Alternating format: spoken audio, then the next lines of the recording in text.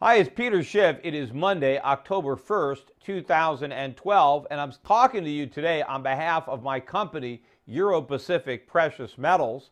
I have been encouraging everybody to buy gold and silver for years.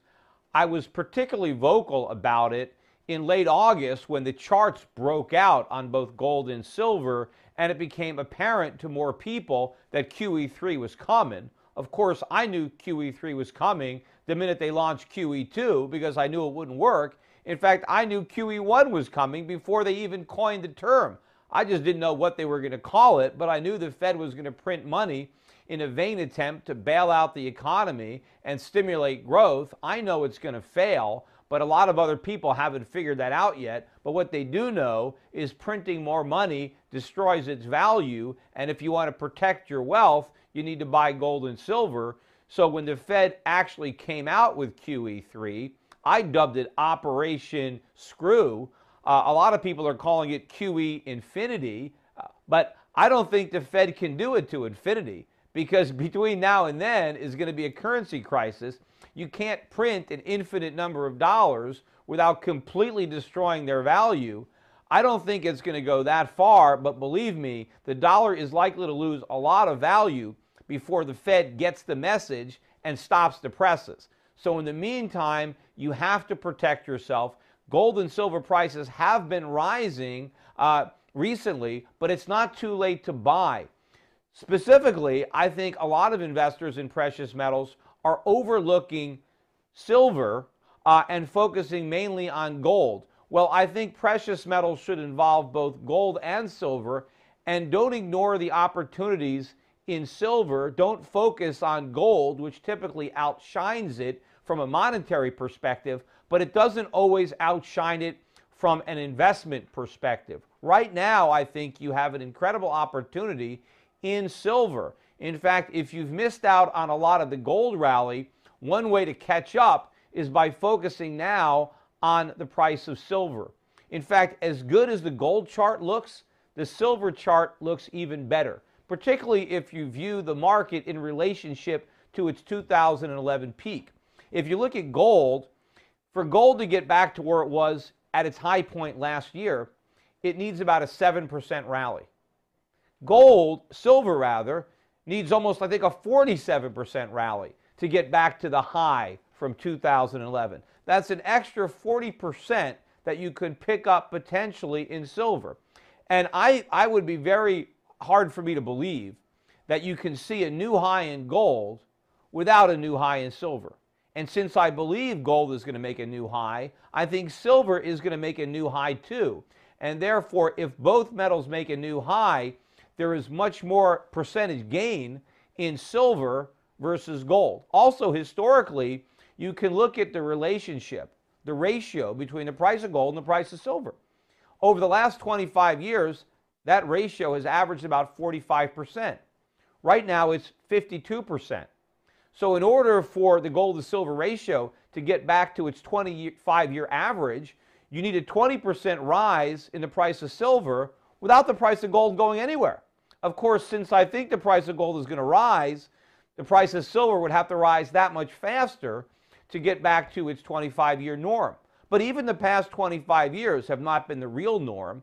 Go back to the 19th century when gold and silver still circulated as money in the United States. The average for that century was a ratio of 16 to 1. Think about where silver would have to be to get back to 16 to 1. In fact, I think at one point in 1980, the ratio got to about 13 to 1. In order to get to that peak, you're looking at silver, I think, at maybe $135 an ounce, assuming the price of gold doesn't go any higher. It stays where it is. Now, I don't know that we're going to get that ratio again. Remember, that was when the Hunt brothers tried to corner the market for silver. So that might be an aberration. Who knows? Maybe that's going to be the high point that silver will ever get relative to gold. But you never know. Maybe it'll retest it. But even if it doesn't retest it, it should approach it. It shouldn't stay down around 52 to 1.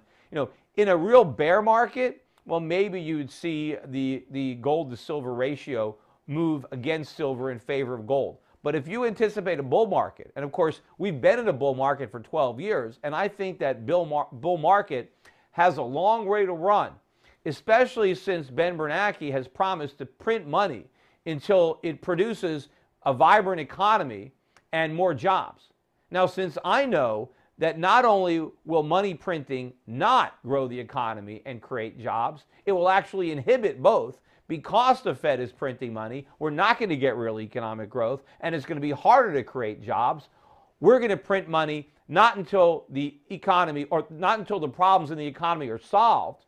We're going to print money until the economy collapses. That's really what he's going to do. He's going to print money until he can't do it anymore because the crisis uh, takes away uh, that potential. That's all that's going to happen.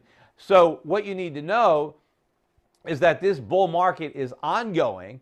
And if it is ongoing, history would say that silver has much further to go than gold. Not that I'm saying only buy silver, but if you've only been buying gold, this is an opportunity to buy silver. And in fact, maybe now you buy a little bit more silver than you otherwise would have bought, given the short term upside in silver and the way it outweighs the short term upside potential in gold. That is why we're doing actually a promotion at Euro Pacific Metals. We're selling 10 ounce bars of silver as low as 99 cents over the spot price of silver. That's just under a 3% markup.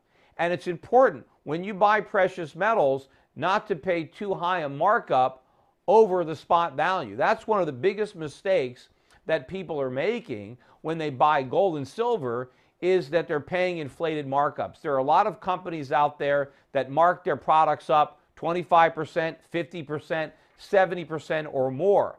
That means you need an enormous move up in the spot price of the metal just to break even on your purchase.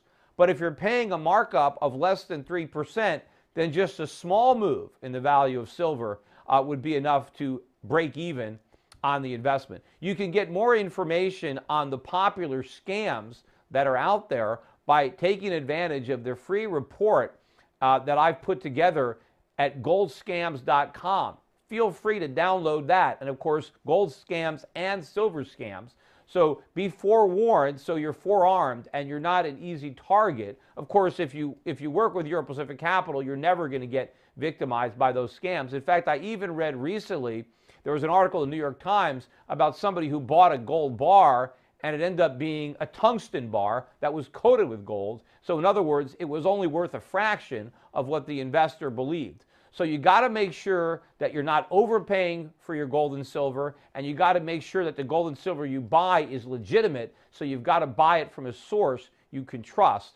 And I think you can trust Euro Pacific Precious Metals because, after all, that's my company. That's it. I hope this announcement is helpful. And remember, of course, you know, there's downside risk as well as upside potential. But I think if you study the facts, given what the Fed is doing now and given what the Fed is likely to do, I think the upside potential far outweighs that downside risk. And I think the real downside risk is in the US dollar. And Ben Bernanke is going to make sure that if you're holding dollars, you're going to lose a lot of wealth and a lot of purchasing power. And if you want to avoid the inflation tax, you avoid US currency and you got to find something else to own, gold and silver, particularly now, given the price and given the charts and what I'm looking at in the market right now, you really want to make sure you have silver.